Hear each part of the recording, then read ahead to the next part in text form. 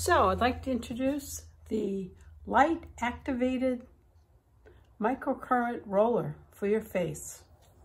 So all you need to do, put it on your jawline and bring it up.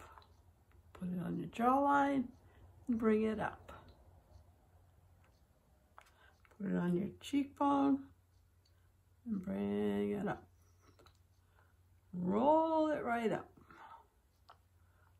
I may have one of these left and they're not very expensive.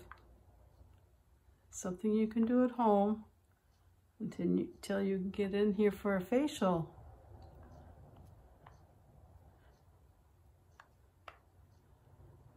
I'm not sure, but I think I have one for $30. Freshen things up. Skin rolling is always great for stimulating your skin.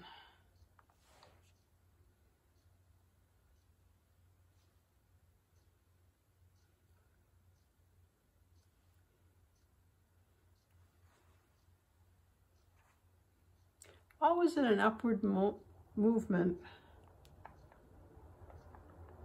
Pull that skin up.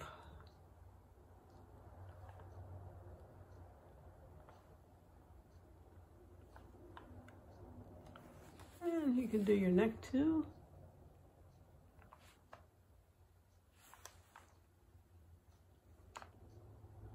What I've done is put my hand down here and pulled. And uh, same here, pull.